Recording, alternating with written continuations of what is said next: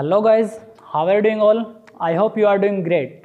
This side Kuldeep Singh from New Howard classes and guys today I have brought for you parts of speech.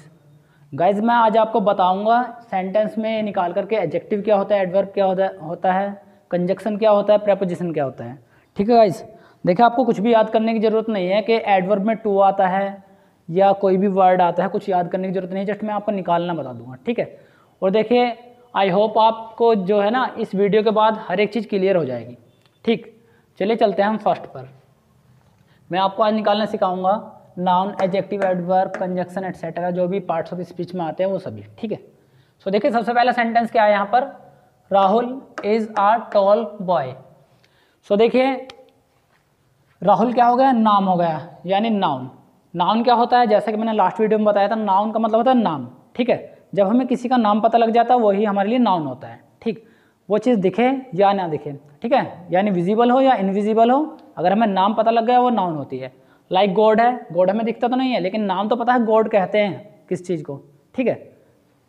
सो देखिए, सबसे पहले क्या है? Rahul. Clear पता लग रहा है एक नाम है। ठीक? तो ये क्या हो गया? नाउन आगे क्या है? हेल्पिंग वर्ब है। फिर क्या है? आ देखिए आर्टिकल्स होते हैं थ्री एक तो ए होता है एन होता है और दी होता है, दा। ठीक है? देखिए, इनका एक रूल और मैं बता दूँ। देखिए, जहाँ पर ए एन और द आ गया, उसके बाद नाउन आना ज़रूर है। ठीक है? तो देखिए, यहाँ पर ए आ गया, अब इसके बाद नाउन ज़रूर आएगा। अब आगे देखिए टॉल लंबे होना। लंबे होना कोई नाम तो नहीं है, ठीक है? तो ये नाम नहीं है, ठीक है? या तो देखिए उसके जस्ट बाद आ सकता है, एक वर्ड छोड़कर आ सकता है, दो वर्ड छोड़कर आ सकता है, लेकिन जहाँ पर ये आर्टिकल्स आ गए, इन तीनों में से कोई सा भी आ गया यहाँ पर वर्ड तो उसके बाद नाउन आएगा ज़रूर, ठीक है? सो देखिए टॉल तो नहीं है नाउन टॉल तो देखिए क्वालिटी है, लंबे होना, गोरे होना, पतले होना, ये सब तो क्वालिटी होते हैं, यानी एजेक्टिव होते हैं तो ठीक है? तो इससे अगला नाउन होगा फिर ये बॉय तो ये हो गया हमारा नाउन अब देखिए, जो नाउन से पहले चीज़ आती है, जो नाउन के बारे में बताता है, वो एजेक्टिव होता है हमेशा, ठीक है? देखिए, यहाँ पर क्या है? टोल, लंबा कैसे कहा गया है? बस देखिए, जो यहाँ पर वर्ड लिखा वर्ड से वर्ड कनेक्ट करने हैं, बस आपको वो निकलता चला जाएगा। देखिए, टोल लिखा है, जैसे टोल, लंबा कौन है यहाँ पर? अब देखिए ए को तो लंबा नहीं बोल रहा है, कि एक लंबा है ये। ठीक है, राहुल को भी नहीं बोल रहा है। किसे बोल रहा है? बॉय और बॉय क्या है? नाउन है। ठीक है तो नाउन की जो क्वालिटी बताता है, वो हमेशा क्या होता है? एजेक्टिव यानी ये हो जाएगा आपका एजेक्टिव क्योंकि बॉय है लंबा। लंबा कौन है इसमें? सेंटेंस में देखिए Rahul is a tall boy यानी बॉय लंबा है, ठीक है? नेक्स्ट है he is a very tall boy next क्या है? देखिए प्रोनाउन क्या होता है? जहाँ पर हमने किसी का नाम ले दिया, वो नाउन होता है। और जो वर्ड नाउन का प्लेस लेता है नाउन की जगह आता है, यानी नाउन को बिल्कुल रिमूव कर देता है, वो क्या होता है? वो हमारा प्रोनाउन होता है, ठीक है? उस जगह हमने राहुल बोला था, वहाँ पर क्लियर नाम बोला था, लेकिन अगर हम ही करके बोलेंगे उसे तो क्या हो जाएगा प्रोनाउन जैसे हमने किसी लड़की को बोला सपोज़ रिया बोला हमने रिया बोलेंगे तो नाउन है। अगर सी बोलेंगे, क्या है प्रोनाउन यानी नाउन को जो बिल्कुल रिप्लेस कर देता है डेट वर्ड कॉल प्रोनाउन ठीक है? सो देखिए प्रोनाउन ये हो गया। अब इस हेल्पिंग वर्ब में इसका आपको पता है, फिर ए आ गया। ठीक है, फिर से आर्टिकल आ गया तो इसके बाद नाउन आना ज़रूर है। अब देखिए नेक्स्ट वाला। वेरी वेरी तो कोई नाम नहीं लग रहा, ये नाउन नहीं है। नेक्स्ट क्या है? टोल टोल भी देखिए क्वालिटी होती है, वो भी नाउन नहीं है। उसके बाद देखिए बॉय फिर से देखिए बॉय नाउन हो गया। अब मैंने कहा था, अब देखिए कनेक्ट करने हैं बस वर्ड्स अब देखिए टोल कौन है इसमें? बस ये देखते चलिए टोल किसे बोला जा रहा है? टोल कौन है? ही टोल है इस टोल है आ टोल है वेरी टोल है, या देखिए बॉय टोल है। बॉय को ही बोला जा रहा है। तो नाउन की जो क्वालिटी बताता है, वो क्या हो गया एडजेक्टिव अब देखिए टोल तो है ये, लंबा तो है क्वालिटी तो इसमें बता दी। जो क्वालिटी बताएगा, वो एडजेक्टिव हो जाएगा। ठीक है, जो क्वालिटी होती है, वो एडजेक्टिव होती है नाउन की। लेकिन अब कितना लंबा है कम लंबा है, ज़्यादा लंबा है ये तो वो जो वर्ड इसके बारे में भी बताएगा, जो इसकी क्वालिटी बताएगा। अब देखिए वेरी किससे कनेक्ट हो रहा है? वेरी बॉय को तो नहीं बोलेंगे वेरी बॉय कुछ कनेक्ट हो रहा है? नहीं। ही वेरी कुछ कनेक्ट नहीं हो रहा है। आ वेरी कुछ कनेक्ट नहीं हो रहा है। वेरी क्या है? वेरी टॉल यानी बहुत लंबा है, ठीक है? तो देखिए, जो एजेक्टिव की क्वालिटी बताता है, वो क्या होता है? एडवर्ब ये यहाँ पर वेरी क्या हो जाएगा? हमारा एडवर्ब हो जाएगा। नेक्स्ट आगे चलते हैं। देखिए एजेक्टिव पहचानते हैं हम। इनमें जितने भी सेंटेंस लिखे हैं, अब इसमें से एजेक्टिव पहचानना है हम लोगों को, ठीक है? देखिए, सबसे पहले क्या है? रिया, चलिए मैं आप इसे छोड़िए, बस आपको जो है ना एजेक्टिव पहचान के बताता हूँ बस इसमें। एजेक्टिव कैसे पहचानेंगे? रिया इज़ आ अब देखिए, आ आया है तो आगे जो है नाउन ज़रूर आएगा। मोस्ट नाउन नहीं लग रहा ऑनेस्टी नाउन नहीं लग रहा। ये क्या है? गर्ल गर्ल नाउन है। ठीक है? अब देखिए ओना ओनेस्ट ओनेस्ट क्या होता है? ईमानदार। तो देखिए क्वालिटी है ना एक? किसकी क्वालिटी है? इसकी। ओनेस्ट किसे बोला जा रहा है? गर्ल को। तो जो नाउन के बारे में बताएगा, वो क्या होगा हमारा? एजेक्टिव मिल गया एजेक्टिव तो हमारा इस जगह ये एजेक्टिव हो जाएगा। इसमें हम एजेक्टिव पहचानेंगे जस्ट क्योंकि इस तरीके से आपको सीटेट वगैरह में देगा कि एजेक्टिव पहचानिए या एडवर्ब पहचानिए या प्रेपोजिशन पहचानिए या कंजक्शन पहचानिए इस तरीके से करके आपको देगा। ठीक है? नेक्स्ट देखिए this news is good news देखिए न्यूज़ क्या है? एक नाम है। ठीक है? अब देखिए अब ये नाउन है तो गुड किसे बोला जा रहा है? गुड दिस को बोला जा रहा है इसको बोला जा रहा है न्यूज़ को बोला जा रहा है। न्यूज़ को बोला जा रहा है कि न्यूज़ अच्छी है। ठीक? तो देखिए न्यूज़ क्या गुड क्या हो जाएगा हमारा? एजेक्टिव अब देखिए यहाँ पर ये एजेक्टिव होगा। ठीक आई होप आपको समझ में आ रहा होगा। नेक्स्ट आगे देखिए Roy is the elder of the two sisters अब देखें यहाँ पर सिस्टर्स क्या है? सिस्टर नाम है एक नाउन में आता है। तो नाउन की जो नाउन के बारे में जो कुछ भी बताता है, कुछ भी, वो हमारा क्या होता है? एजेक्टिव अब देखिए टू जो इससे पहले आया है नाउन से हमेशा पहले आता है एजेक्टिव तो हमारा टू इस जगह क्या हो जाएगा? एजेक्टिव ठीक है? अब नेक्स्ट देखिए द ब्लैक एक मिनट ये थोड़ा सा गलत हो गया। द ब्लैक कैट लिख लीजिए यहाँ पर। The black cat caught a small bird black caught ने एक स्मॉल बर्ड पकड़ लिया। ठीक है? तो देखिए, अगर द यहाँ पर आया, मैंने कहा था आर्टिकल्स जहाँ पर होंगे, उसके बाद नाउन ज़रूर आता है। द ब्लैक ब्लैक तो देख क्वालिटी लग रही है। द ब्लैक कैट तो कैट हो गया हमारा नाउन नाउन हो गया तो इससे पहले आने वाली चीज़ ब्लैक क्या होगी इस जगह?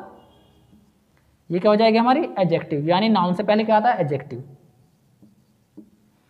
ठीक कोट हमारी थर्ड फॉर्म हो गई आ स्मॉल बर्ड अब देखिए यहाँ पर क्या है? बर्ड है बर्ड भी एक नाउन है तो नाउन से पहले क्या आएगा? स्मॉल तो स्मॉल क्या होगा? स्मॉल भी क्या हो जाएगा? एजेक्टिव तो इसमें क्या है? दो दो एजेक्टिव है। ठीक है नेक्स्ट चलते हैं। नेक्स्ट क्या? The cow has a long tail tail क्या हो गई? पूछ हो जाती है, यानी ये नाउन हो जाएगा। ठीक है? अब देखिए टेल कैसे है? लॉन्ग ये क्वालिटी हो गई, यानी एजेक्टिव इसमें ये हो गया। ठीक है गाइज़ नेक्स्ट है he likes this pen pen क्या है यहाँ पर? बस नाउन पहचानिए, आपका एजेक्टिव तो खुद मिल जाएगा।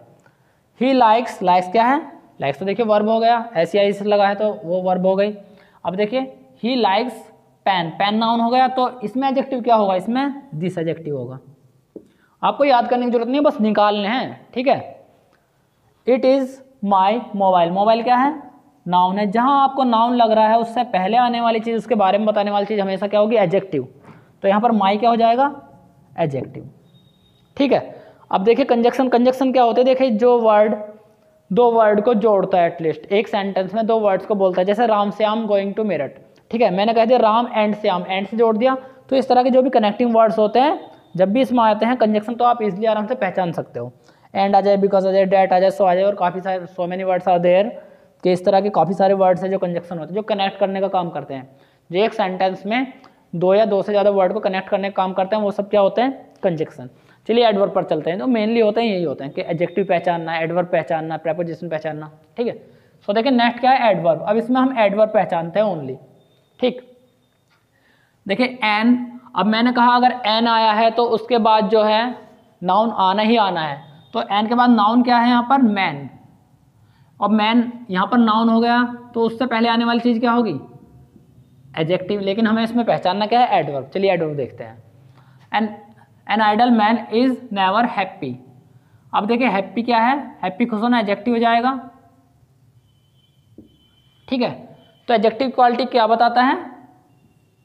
नेवर अब नेवर किसे बोल रहे हैं? मैन नेवर है आइडल नेवर है या एन नेवर है? हैप्पी नेवर है। अगर एजेक्टिव की क्वालिटी क्या बताएगा? देखिए एडवर्ब किस किस की क्वालिटी बताता है? पहले ये देख लीजिए। एडवर्ब जो है हमारा एडवर्ब एजेक्टिव की क्वालिटी बताता है। ठीक है? दूसरा वर्ब की क्वालिटी बताता है। थर्ड एडवर्ब की इनफैक्ट खुद की भी क्वालिटी यही बताता है। ठीक है? सो देखिए एडवर्ब क्या है? इन तीन तीन की क्वालिटी बताता है। एजेक्टिव की वर्ब की और एडवर्ब की। सो देखिए, इसमें क्या है? अगर ये एजेक्टिव है तो ये क्या हो जाएगा? एडवर्ब अब देखिए नेवर आपने सुना है, कभी एडवर्ब होता है बट इसमें हो गया, इस तरीके से आते हैं, ठीक है? नेक्स्ट क्या होगा, हो जाएगा? ही ओफन कम्स हेयर अब देखिए, वह यहाँ पर अनेकों बार आता रहता है मतलब कई बार आता है, आता रहता है यहाँ पर, ठीक है? तो ओफन होता है कई बार।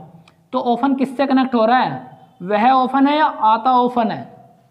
अब ये आना क्या है, जरा देखिए, ये क्या है वर्ब मेन वर्ब है ये। तो इसमें क्या है, देखिए एडवर्ब क्या होता है? एजेक्टिव वर्ब या एडवर्ब की क्वालिटी बताता है, वो क्या होता है? एजेक्टिव सॉरी एडवर्ब तो देखिए ही ओफन कम्स यानी आता कई बार है तो ओफन क्या हो जाएगा इसमें? एडवर्ब हो जाएगा ऑब्वियसली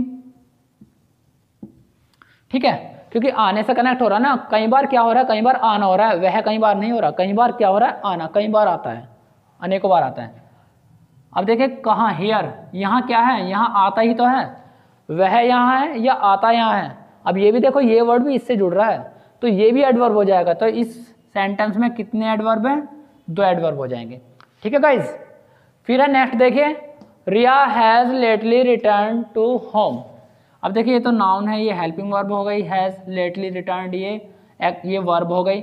अब लेटली क्या हो रहा है? लेटली क्या हो रहा है इसमें सेंटेंस में? रिया लेटली हो रही है होम लेट हो रहा है, या आना लेट हो रहा है उसका? आना लेट हो रहा है ना? और आना क्या है? वर्ब है। ठीक है? तो वर्ब की जो क्वालिटी बताएगा वो क्या होगा? एडवर्ब ऑब्वियसली तो ये भी क्या हो जाएगा हमारा? Adverb I hope you are getting properly आपको समझ में आ रहा होगा। नेक्स्ट देखिए। He always speak to go वो हमेशा जाने के लिए कहता रहता है। कहता है। ठीक है? तो देखिए ही आपको सिंपल दिख रहा है नाउन प्रोनाउन तो आप पहचान ही लेते हो। मेन चीज़ें ये हैं। ऑलवेज हमेशा स्पीक बोलना। ये क्या हो गया? वर्ब हो गई मेन वर्ब हो गई। टू गो गो आपको सिंपल पता है कि ये जो है वर्ब होती है। अब देखिए ऑलवेज क्या है? ऑलवेज किससे कनेक्ट हो रहा है? वह हमेशा है या बोलता हमेशा है? जाने के लिए बोलता हमेशा है। हमेशा क्या कर रहा है? हमेशा बोलता है ना ये? तो बोलना क्या है यहाँ पर? यहाँ पर नाउन है। सॉरी यहाँ पर क्या है वर्ब है? तो वर्ब की क्वालिटी बताने वाला क्या होगा? एडवर्ब तो ये भी हमारा क्या हो जाएगा? एडवर्ब नेक्स्ट है प्रेपोजिशन प्रेपोजिशन क्या है? देखिए प्रेपोजिशन जो है जस्ट ये बताता है किसी चीज़ का किस चीज़ के ऊपर होना नीचे होना अंदर होना बाहर होना ये सब चीज़ें बताता है। बीच में होना आगे होना पीछे होना बिहाइंड होना ऑन होना इन होना एट होना ये सब बताता है। ठीक है? जो प्रेपोजिशन होता है। सो so, देखिए द कैलकुलेट इसमें देखिए हम प्रेपोजिशन पहचानते हैं ओनली ये सब तो आपको पता लग गया अगर द आ रहा है तो नेक्स्ट वाला क्या होगा हमारा? ये नाउन होगा। ठीक है? इसके बाद मतलब नाउन आएगा ज़रूर। तो कैलकुलेटर यहाँ पर नाउन हो गया। चलिए उसे छोड़िए। दूसरी चीज़ एक और प्रेपोजिशन देखिए प्रेपोजिशन क्या होते हैं? प्रेपोजिशन हमेशा जहाँ प्रेपोजिशन होते आती है उसके बाद अपना ऑब्जेक्टिव ज़रूर लेती है। यानी प्रेपोजिशन के बाद एक नाउन बोल लो या ऑब्जेक्टिव बोल लो एक ही बात है। अपने बाद एक ऑब्जेक्टिव ज़रूर लेगा। वही आपका प्रेपोजिशन होगा अदरवाइज़ नहीं होगा। मैं अभी आपको बताऊँगा इसमें क्लियर करके। ठीक? सो so, देखिए सबसे पहले the calculator is on the table अब देखिए ऑन क्या है यहाँ पर? किसी चीज़ मैंने क्या बताया, किसी चीज़ के ऊपर होना, अंदर होना, नीचे होना, बाहर होना, आगे होना, पीछे होना, वो सब क्या होती है? प्रेपोजिशन तो ये क्या है? टेबल कैलकुलेटर कहाँ पर है? टेबल के ऊपर. तो देखिए यहाँ पर ऑब्जेक्टिव मिल गया। तो यहाँ ऑब्जेक्टिव मिल गया तो ये क्या हो जाएगा? प्रेपोजिशन ठीक है तो ओन यहाँ पर क्या होगा? प्रेपोजिशन नेक्स्ट है he was angry with me अब देखिए मी क्या होता है? आई का ऑब्जेक्ट होता है तो ऑब्जेक्टिव मिल गया यहाँ पर। वह मुझसे नाराज़ था या गुस्सा था? तो विद क्या हो जाएगा यहाँ पर? प्रेपोजिशन किससे था? मी से। यानी इसका अगर ऑब्जेक्टिव मिल गया तो ही प्रेपोजिशन होगा, वरना ये नहीं होगा। ठीक है? फिर देखें ही केम इन दी क्लास अब देखिए, वह आया क्लास में।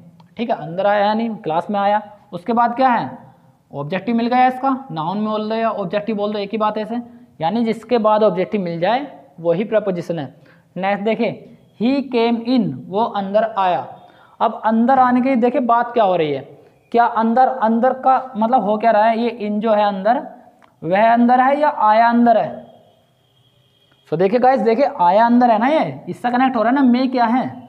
ही केम इन यानी अंदर, वह अंदर आया। तो ये इन जो है इससे कनेक्ट हो रहा है इस बार। और ये क्या है? वर्ब और मैंने क्या कहा था? अगर वर्ब के बारे में कोई भी वर्ड बात करेगा, वो क्या होता है? एडजेक्टिव वर्ब या एडवर्ब की क्वालिटी बताने वाला क्या होता है हमेशा? एडवर्ब तो देखिए, भले यहाँ पर इन आपको रटाया गया हो, लिखाया गया हो कि ये प्रेपोजिशन होता है, लेकिन इस सेंटेंस में क्या है ये? क्योंकि आने की बात कर रहा है और आना क्या है? वर्ब है। तो यहाँ पर क्या हो जाएगा ये? एडवर्ब तो यहाँ पर क्या होगा जी? एडवर्ब आई होप आपको ये समझ में आया होगा। ठीक है, फिर भी अगर कुछ समझ में ना आए तो आप कमेंट कर सकते हैं। ठीक है? आप फिर भी एक बार देख लीजिए स्क्रीनशॉट लेना चाहें स्क्रीनशॉट ले सकते हैं इसका।